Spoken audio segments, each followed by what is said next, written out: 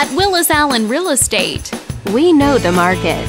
Welcome to February's Market Update. Let's take a look at residential real estate activity in your area during the month of January. The number of active listings was down 88% from one year earlier and down 57% from the previous month. As you can see, the median listing price for the month was just under $800,000.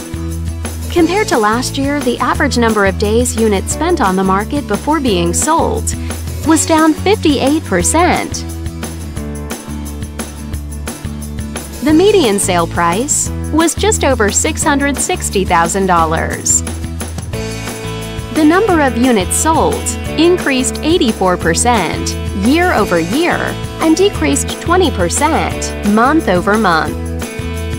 Thanks for watching. We hope you use this information to make smart, informed decisions in your upcoming real estate transactions.